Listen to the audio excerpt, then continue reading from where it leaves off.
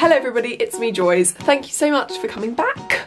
So for those of you who don't know, I am homeschooled and I have been homeschooled for the last four years, I think. Year 8, Year 9, Year 10, 11. So I'm in Year 11 at the moment. I did go to a normal school for the first 10 years of my life. I think that's also quite important because you learn how to socialise and you learn how to act around people and you learn like the basics at school. So in today's video I thought it would be interesting for you to see how I schedule my work, how it all works. I will try to explain a bit about everything and I'm going to show you how I organise myself and if you fancy you can subscribe to my channel. Let's begin. This is my desk where I do most of my work. I've got my pots of pens and all the stationery stuff I need.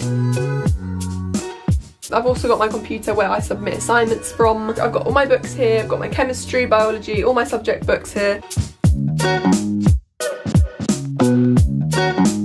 Advantages and disadvantages of homeschooling. First advantage is you get to go out when you want to. You don't have to be constricted by school hours. You can just get on with what you have to do without having to wait around, do your work in the morning and go out in the afternoon or vice versa or do all your work on Monday, Tuesday, Wednesday and have the rest of the week free. It all just depends what you like to do. Another advantage is you can pursue what you like. The reason why I'm actually homeschooled is because I used to do intensive ballet in central London. I went into London four days a week. That's story for another video. I've now stopped ballet because I lost the passion. To cut the long story short, I still wanted to become, homes become homeschooled because I think it's really good for kids to be able to do what they love instead of just being constricted by some subjects at school. I really enjoy baking and cooking so I get to do that. Obviously I have a YouTube channel so that means I've also, also obviously got time to film and edit. That's one of the biggest advantages of homeschooling. Um, you can travel and go away outside of holiday times. It's cheaper and there's less people around. I take it as like a holiday thing. So when it's holidays or half term, then I'll just do work then instead. Basically, I don't have holidays when my friends do. There's a few disadvantages. One is that you can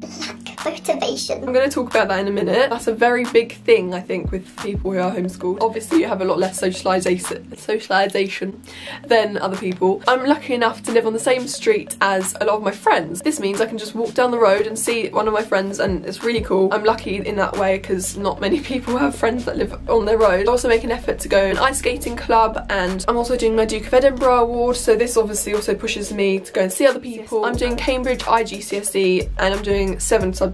So I'm doing biology, chemistry, maths, English, French and computer science and business studies. I dropped physics because I absolutely hate physics. Unfortunately I can't drop maths but I would have liked to. My favourite-ish subjects are English, business studies and biology. In general I do about three or four hours of work a day. Can't tell you that exactly though because depending on if I'm understanding the stuff I'm learning or if I'm finding it really difficult it can take me way more time. If it's something I really understand really well I'll do like one or two hours and I'll be done. So it really varies. So last year I went through a phase of serious unmotivation. I think this happens to everybody but I was struggling with a few of my subjects. I think I had hit a brick wall in maths and in one of my sciences. I just couldn't get past these units and if you don't understand something and you read it 10 million times but you still don't understand it, it's very difficult. After that I just turned a corner I turn the corner. I'm so motivated at the moment to work. So I quite like to make to-do lists. So I like to do uh, a timetable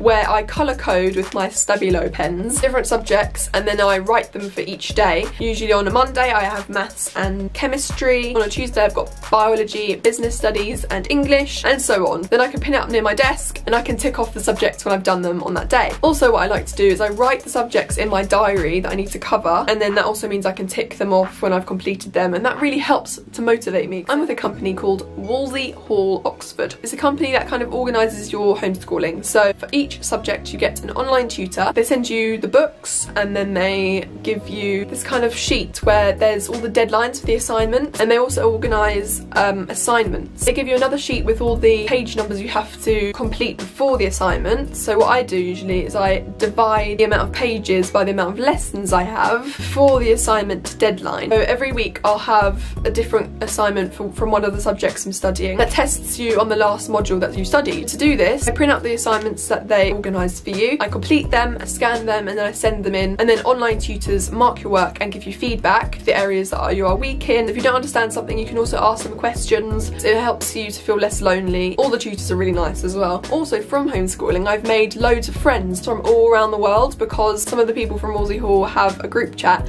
um, so we can all contact each other, ask if we Another way I organise all my assignments and all the papers I have is putting them in colour coded pouches. When I'm studying stuff in the textbook, any main points or keywords or things I need to remember I put on a flashcard, put a stamp hole in it on a ring to make a flashcard pile. I put a colour coded ribbon on it to match the pouch that all the assignments are in. So then I have kind of like a colour for each subject. A lot of people ask if it's my parents that teach me. Most of the work I do myself. There are some things that I have to have like extra tuition for. So for example, chemistry, I have a tutor that I go and see. The tutor is really good at explaining things that I don't understand and it's also really nice change because I always read, I'm constantly reading from textbooks. So it's really nice that I can go and see someone and she can tell me about it. And I also struggle sometimes with my maths. Uh, so my dad helps me with that. So he's very helpful. Some people have actually asked me, do you actually do anything?